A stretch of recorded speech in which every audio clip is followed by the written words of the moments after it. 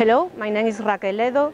I work in the Automotive Technology Center of Galicia and currently I am the coordinator of Fortape project. Fortape is a European project funded by the European Commission involving uh, 10 partners from five uh, European countries. We have a very ambitious goal to develop a new process, new innovative process to obtain automotive parts and aeronautical parts using tapes. The results of, of, of this project will be available in our web in the next months. I'm Fernando Rodriguez Lence. I'm working in, in FIDAN. FIDAN is a research innovation center belongs to IRES and the aim to, to, to work in, in, in Fortape is the possibility to, to check new materials that uh, works in uh, aeronautical field and automotive fields. It's thermoplastics that we are going to use in a new technology uh, using an automatic telemetry machine with uh, laser technology. My name is uh, Virginia Angulo. I work uh, as an engineer in Grupo Antolin uh, within the innovation department.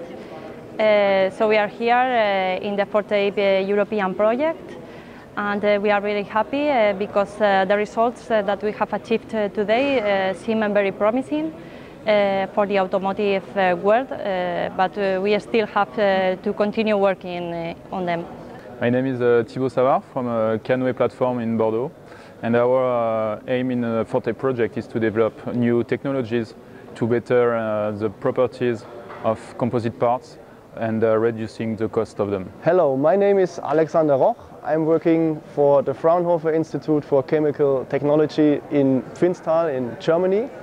And the goal or the, the, task of our institute was the development of the tape pre-processing uh, device before the tapes are transported into this in, uh, injection molding machine and back molded by the thermoplastic resin. My name is Marie Weiss, I'm project manager at Jules Verne Institute and running also the European affairs. Uh, today we reach a great achievement, I think, thanks to the technical team and I hope it will be the beginning of a long European story.